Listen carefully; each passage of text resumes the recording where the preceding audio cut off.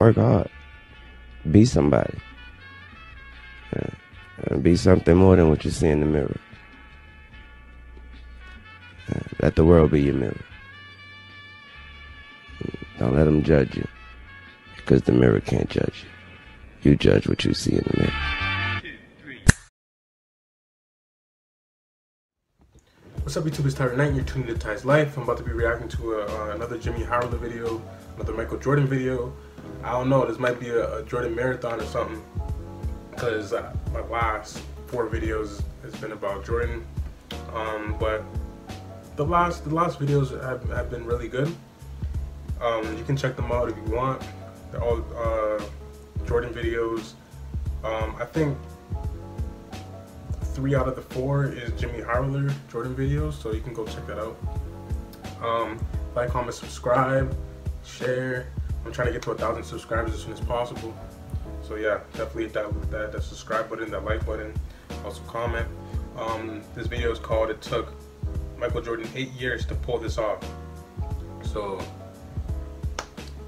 this is Jimmy Howler with his uh, interesting titles interesting captions, uh, interesting uh, thumbnails. The, the first time I seen the thumbnail, I had to click on it. I'm like, okay, I'm gonna react to this. So uh, yeah, let's get into this video.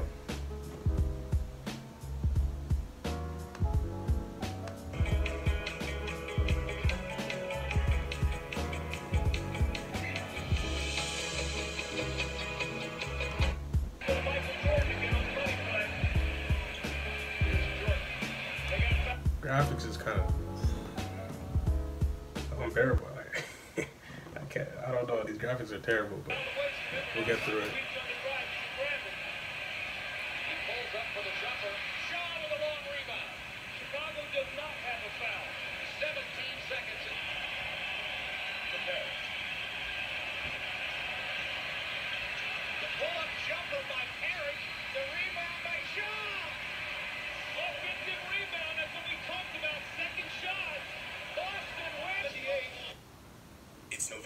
6th, 1990.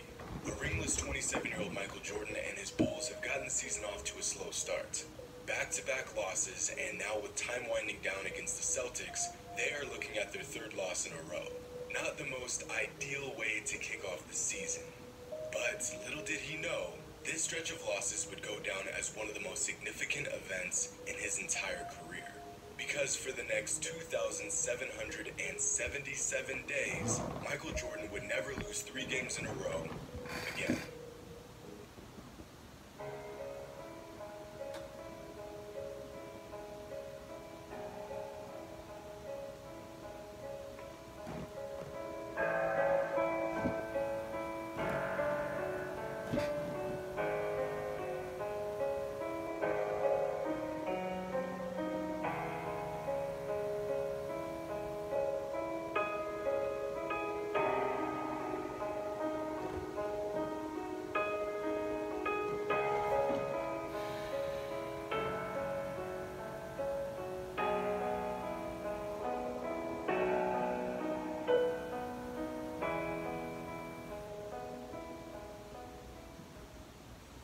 What's up, everybody? It's Jim.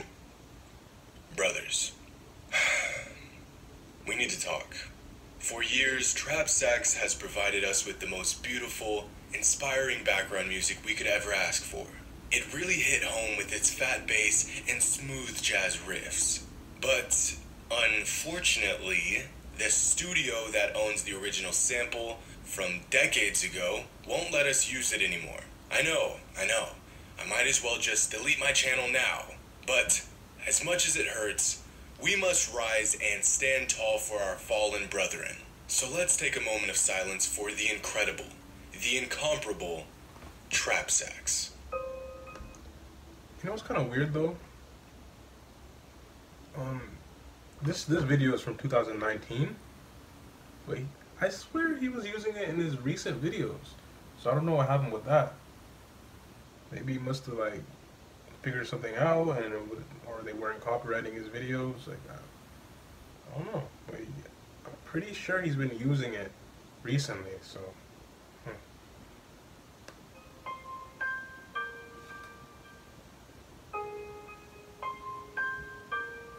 But if there's anything that can cheer a basketball fan up, it is a ridiculous, awesome Michael Jordan story. And boy, do I have just that. HoneyBook is the one-stop shop, and I've been using them for years. HoneyBook is the hub. Every Of all the accomplishments MJ had amassed in his 15 year career, possibly the most impressive and untouchable feat is one that you have probably never even heard of. A couple years ago, someone pointed out that from November 7th, 1990, up until the day Jordan won his sixth ring and hung up his Bulls jersey for good, he did not lose three consecutive games. That's 2,777 days without losing three games in a row. 500.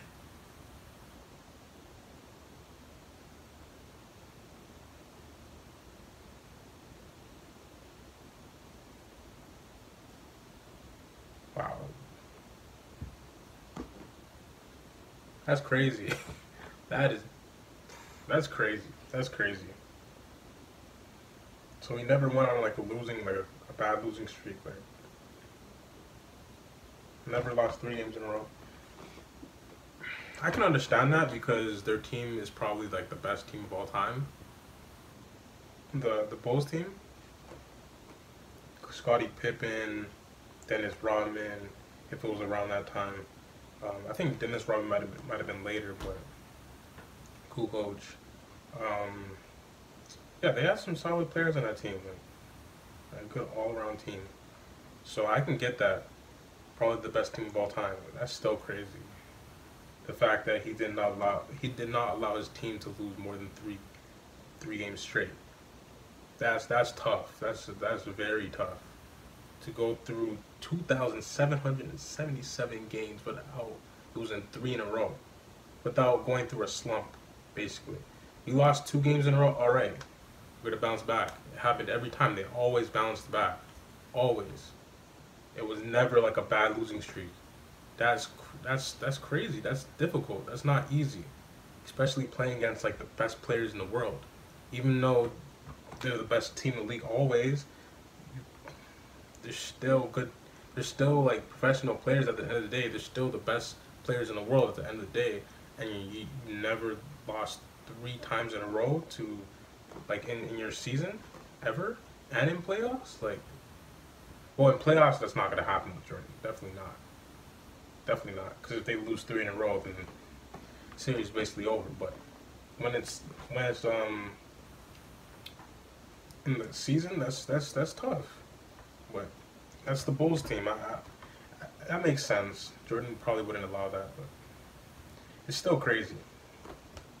100 regular season games, 126 playoff games, coming to a grand total of 626 matchups without a single three game losing streak. Now, when I first heard this, I was skeptical. I mean, a streak of this caliber sounds virtually impossible. In fact, mathematically, it is virtually impossible. But after further investigation, I'll be damned. This man really went nine years, almost an entire decade, without taking three L's in a row. I'm searching, Crazy. digging desperately to find out the truth surrounding this claim. And it That is is that dominant. 100% That's fact. As if Mike didn't already have enough accomplishments. As if the man wasn't shitting on the competition bad enough, two decades after he laced up for the last time with Pure the Bulls, and we are still uncovering pieces of his dominance. Crazy. To put the magnitude of this streak into perspective, in 2010, Ben Blatt of the Harvard Sports Analysis Collective crunched the numbers on such an absurd streak, and his calculations revealed some absolutely absurd numbers. The probability of an average NBA team accomplishing such a streak is. You ready for this? About 1 in 1 quadrillion. Or point zero zero zero zero zero zero Wow. They're really the best team of all time. Chicago Bulls, like that team throughout the six years, like the six years of uh, um them winning those championships. All six years, the best teams of all time. Like depends like the way they they switched up the team a little bit. Rodman was there, a couple guys left or whatever, but with that core of, of Jordan Pippen, um, I don't know who else was there for a while with them. Who stayed? I think Steve Kerr. Like just that that probably five or six players that's been there from that that's won all six championships with them. With that core and the coach, Phil Jackson, they were that dominant. Like you just couldn't beat them. It's crazy. And this shows like their their their team is the best because no one else can do this. No one else can be that dominant. They're just that unique. Crazy. Two hours Numbers don't lie. Zero zero zero one six six. Which is a number so vast and so unlikely that there really isn't anything to compare it to. Yeah. For example, the odds of a high school basketball player making it to the NBA is about 1 in 3,200. Odds Yeah. of one day becoming an NBA champion are about 1 in 22,500. Odds of winning an Olympic gold medal are 1 in 662,000. And odds of winning the Powerball, 1 in 300 million. Wow. So, yeah. MJ pulling this off is mathematically by far his greatest accomplishment. Yeah, for sure. I was a good player, For but sure. something was holding me That back. is so Even hard with to do. programs I used, I just wasn't in the through game. all those games No. and you don't lose three in a row. You don't go through a slump at all. Two in a row, okay, and they bounce back. All right, I give you those two games. We're winning the game. The next game, we're never losing three in a row. That's crazy. Like, wow. Now, you may be thinking That is this was a team effort rather than an individual one. Yeah, so it's not just Bulls Jordan. should be getting credit as well. Yes, that's and. I, that's why I say the Bulls are the greatest. It's the greatest team of all time. I obviously like. If you watch my videos, I say that Jordan's the greatest of all time. But in this aspect, it's everybody. It's it's the whole team because Jordan can't just do it by himself. You also have Phil Jackson, and you have Scottie Pippen to help, and you have all the you have the core players. It's switched up in, throughout the years with the role players and stuff like that, but the whole like their formula and of and, and and what they went out there and did and and the the um the the guidance they had from Phil Jackson it just it just worked. It just worked. And they just didn't go through a slump. Like it always worked. And the numbers show numbers don't lie. And that's why I say this is the greatest team of all time. So for this stat it's like wow I'm looking at the team and I'm like wow this team is special.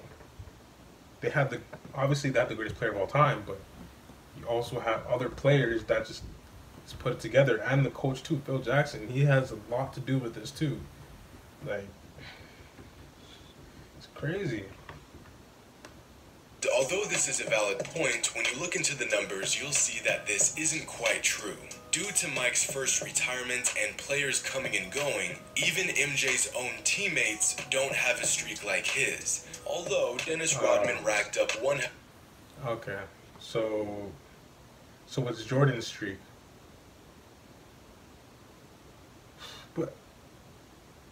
Okay, it's Jordan's streak, but Jordan also had players around him to help that too, and he had Phil Jackson too.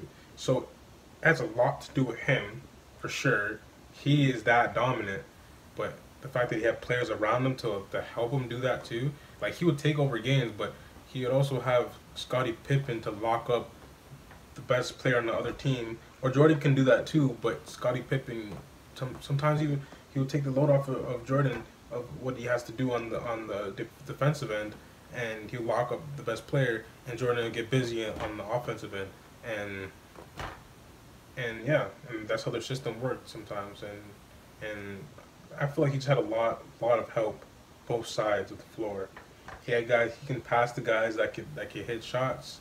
He always had that. He had Ron Harper, who was a great defender. Bill Cartwright, he was he was pretty he was decent. Craig Hodges, he was he was good. Um, B.J. Um, Armstrong, John Paxson, Horace Grant.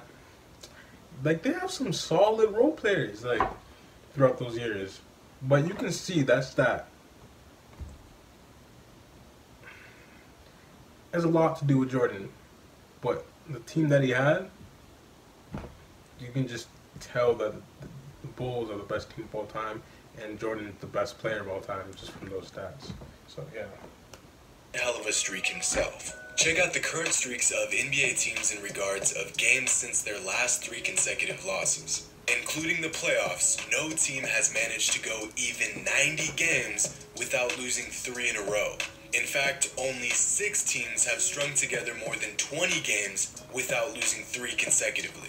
Look at how many teams have zero games since their last three game losing streak. Wow. Zero. If you add up all the streaks from every NBA team, they still don't come close to Mike's 626. Absolutely insane. That's If we take a look at some of the more dominant teams in modern NBA history, you will continue to realize how difficult a streak like this truly is. Michael's streak spanned eight years and seven active seasons, and only came to an end because he retired. The reigning NBA champions, the Toronto Raptors, lost three in a row just this past season in November. The three-peat Lakers lost three games in a row in February of 2002, nearly three years after their streak began. Throughout the last five years, the Warriors have been the winningest team over any five year stretch in NBA history, and even they lost three games in a row on four different occasions throughout this five year stretch, including the infamous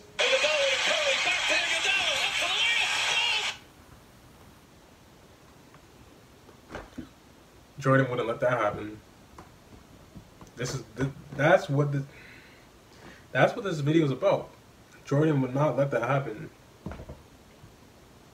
He would not let a team beat him when he's up three one. He would not lose three games in a row. So that's what makes Jordan special because he would not allow those things to happen. So there's a lot of players. There's a, there's a good amount of players that probably wouldn't allow that to happen. LeBron, Kobe, Jordan. Probably Magic probably wouldn't allow that to happen. Like I was surprised Curry allowed that to happen, but then again, you're going against LeBron, so what could you really do? LeBron, I think LeBron's the second best player of all time. Some some people argue that he's the best player of all time, so I disagree with that, but people think he's people. A lot of people think he's the greatest player of all time. So once you're going against that, six eight to what sixty, and he can move like that. He can pass the ball. He can shoot. He can block. He can do all these things. He can do everything on the court. Going against that, that's tough. So I do blame Steph, but it's still tough. It's still tough because LeBron was was on a different. He he was on a mission. He was on a mission for sure. He was on a mission, and I guess the Golden State got relaxed, and you can't get relaxed with LeBron. Honestly, LeBron and Kyrie and those guys and Kevin Love, you can't get relaxed with those guys. So, but what I'm trying to say is that like Jordan would not allow that to happen, and it just you can sh- it shows it shows it shows that Jordan's special. Like things like this happen to people, three L's in a row in the playoffs. We all know Jordan not gonna allow it to happen. Jordan never lost. He even lost. He hasn't lost three games in a row in a season. That's insane. And there's 81 games in the season. So each season he goes through, he did not lose three games in a row. Like it's crazy. Through that span of time. So Creating a simple website conversion funnel in. Google Analytics feels like a. It takes that guy's a goat. And he was on the best No, of all don't time. get it twisted. There were a few occasions where Jordan's streak nearly came to an end. Yeah. Like on April 9th, 1991, when the Bulls beat the Knicks by just two points after losing their previous two did games. not allow it to happen. Or on February 1st, 1993, when they escaped in a four-point victory over the Jazz. Here's a game from 1996 when the Bulls edged out the Warriors by just four points. Mm-hmm. Jordan dropped 40, and by the way he was playing, he was not gonna lose that game. And Nope. then finally, on June 11th, 1997, when the Jazz nearly beat the Bulls three times in a row in the NBA Finals. Of course, Jordan wasn't going to let this happen, so he dropped 38 happen. and Chicago won by two. And when you look at the numbers in these potential streak ending games, it's almost like Jordan knew he had this streak going and was ready to go to any lengths to not see it come to an end. That, or the more likely fact that MJ was the ultimate competitor, and anytime he lost back to back games, he came out locked and loaded, ready to absolutely bury anyone who stood in front of him.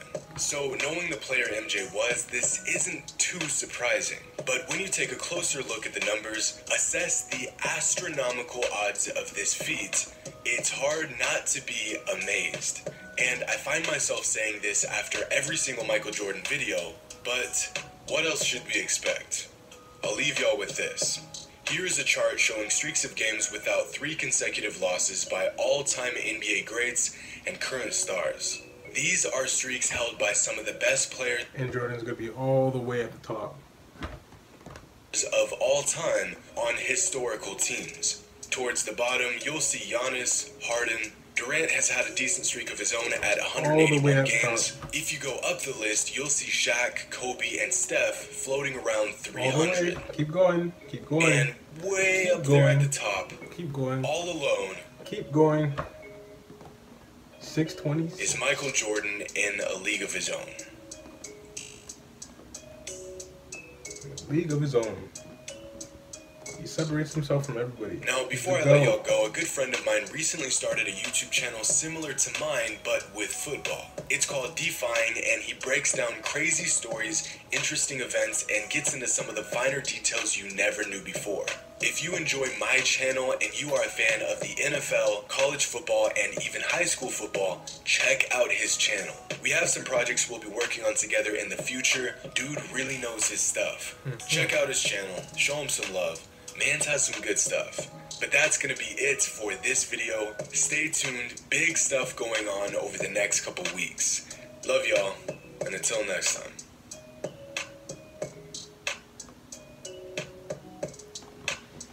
That was a tough video. Yeah, that was tough. 100%. Wow. Well, two points I said throughout the video. It proves that the Bulls are the greatest team of all time, and Jordan's the GOAT. Simple. Simple. It's, a fact. But, um, yeah, like I said, it was a great video. Uh, if you want me to react to more videos like this, um, hit me up in the comments, my DM at night underscore tie tie on Instagram. Um, yeah. Like I said in the start of the video, I'm trying to get to a thousand subscribers um, as soon as possible. So yeah, tap that subscribe button, tap the notification button to be notified when I post. Stay blessed, stay lit, and I'm out. Look, uh. I know my actions speak louder than me.